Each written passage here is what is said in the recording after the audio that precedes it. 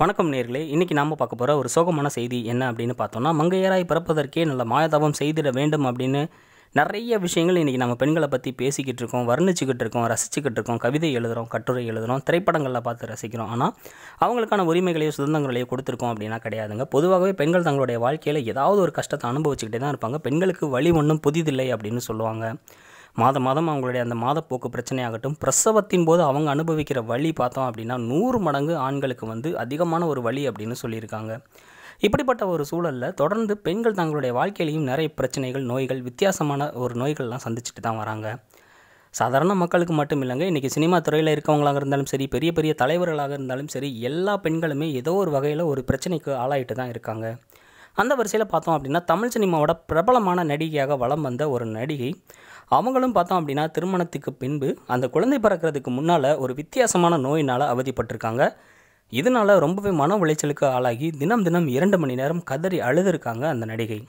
அப்படி என்ன துன்பம் அனுபவிச்சாங்க? ஒரு நாளைக்கு இரண்டு மணி நேரம் கதறி அழுகிற அளவுக்கு அவங்களுடைய வாழ்க்கையில் என்ன நடந்துச்சு அப்படிங்கிற ஒரு சோக நிகழ்வை பற்றி இந்த வீடியோவில் நம்ம முழுசாக பார்த்து தெரிஞ்சுக்க போகிறோம் அந்த நடிகை யார் அப்படின்னு தெரிஞ்சுக்கிறதுக்கு முன்னால் நம்ம டாப் டிஎன் அப்டேட் சேனலை சப்ஸ்கிரைப் பண்ணுங்கள் கூடவே பக்கத்தில் இருக்க அந்த பெல் சிம்பலையும் கிளிக் பண்ணுங்கள் அப்போ தான் நாம் போடுற அடுத்தடுத்த எல்லா வீடியோஸும் உங்களை தேடி வந்துக்கிட்டே இருக்கும். இப்போ நியூஸ்க்குள்ளே போகலாம் ஸோ தமிழ் சினிமாவில் எத்தனையோ வெற்றி திரைப்படங்கள் வந்திருந்தாலும் ஒரு சில திரைப்படங்கள் மூலமாக அறிமுகமான கதாநாயகிகளுக்கு அவங்களுடைய திரைப்படங்களின் பெயர்களும் கூடவே ஒட்டிட்டு வரும்.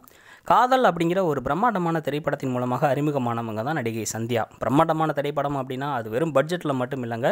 சாதாரண பட்ஜெட் திரைப்படமாக இருந்தவங்களுக்கு கூட மக்கள் மத்தியில் அது ரொம்ப பெரிய அளவில் கொண்டாடப்பட்டிருக்கும். அந்த மாதிரி ஒரு திரைப்படம் தான் காதல் அப்படிங்கிற ஒரு திரைப்படம். இந்த திரைப்படத்தில் கதாநாயகியாக அறிமுகமானவங்க தான் நடிகை சந்தியா. இன்றைக்கி வரைக்குமே காதல் சந்தியா அப்படின்னு தான் எல்லோராலையுமே அழைக்கப்படுறாங்க. முதல் திரைப்படத்திலேயே அவங்களுடைய நடிப்பானது மிகப்பெரிய அளவில் பாராட்டத்தக்க ஒரு திரைப்படமாக அமைஞ்சிருந்தது. அவங்களுடைய சிறப்பான நடிப்பை வெளிப்படுத்தியிருந்தாங்க. அடுத்தடுத்து தமிழ் சினிமாவில் பார்த்தோம் அப்படின்னா மகேஷ் சரண்யா மற்றும் பலர் வல்லவன் அதுக்கப்புறம் டிஷு உள்ளிட்ட நிறைய திரைப்படங்களில் நடித்தாங்க அதில் ஒரு சில திரைப்படங்கள் மட்டும்தான் மக்கள் மத்தியில் வரவேற்கத்தக்க விஷயமாக இருந்துச்சு. மற்ற திரைப்படங்கள் எல்லாமே தோல்வி திரைப்படங்களாக அமைஞ்சதுனால ஒரு காலகட்டத்தில் அவங்க சினிமாவுக்கு முழுக்க போட்டு போயிட்டாங்க. அந்த காலகட்டத்தில் தான் அவங்களுக்கு திருமணமும் நடந்திருக்கு சென்னையில் ஒரு தொழிலதிபராக இருந்த ஒருவரை காதலித்து திருமணம் செஞ்சுக்கிறாங்க. அதுக்கப்புறமா அவங்களுடைய திருமண வாழ்க்கையில் ஏராளமான கஷ்டங்களையும் துன்பங்களையும் அனுபவிச்சிருக்காங்க. திருமணத்துக்கு பின்பு பார்த்தோம் அப்படின்னா அவங்க குழந்தை பிறக்கிறதுக்கு முன்னால் வித்தியாசமான ஒரு நோயினால் அவதிப்பட்டிருக்காங்க. போஸ்ட் ப்ளூ அப்படின்னு ஒரு நோயால் அவதிப்பட்டிருக்காங்க. இது என்னடா புது நோயாக இருக்குது அப்படின்னு சொல்லி இன்றைக்கி இருக்க தாய்மார்கள் நிறைய பேர் கேட்டிருக்காங்க. ஆனால் அந்த மாதிரி ஒரு நோயால் தான் சந்தியா அவர்கள் அவதிப்பட்டிருக்காங்க. மன உளைச்சலுக்கு ஆளாகி தினம் தினம் ஒரு குறிப்பிட்ட நேரம் பார்த்தோம் அப்படின்னா அவங்க கண்ணீர் விட்டு கதறி கதறி அழுவாங்களாம். இதனால் பல பிரச்சனைகளுக்கு இவங்க உள்ளாயிருக்காங்க.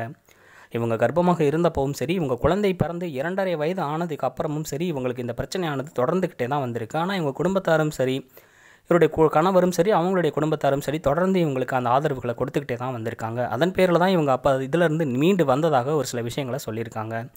அது மட்டும் இல்லைங்க இன்றைக்கி பிரசவிக்கிற தாய்மார்கள் எல்லாருக்குமே இவங்க ஒரு வரி பரிந்துரையும் சொல்லியிருக்காங்க.